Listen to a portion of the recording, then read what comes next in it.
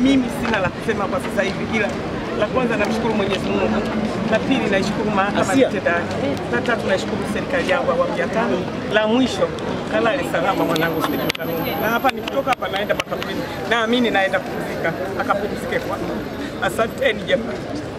Shukuru Mwenyezi Mungu, naishukuru mahakama mtendaji, naishukuru serikali yangu awamu ya tano.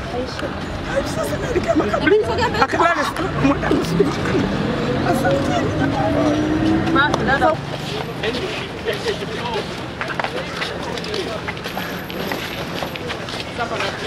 Ongea kidogo tu. Asia, ongea kidogo hapo. Asia.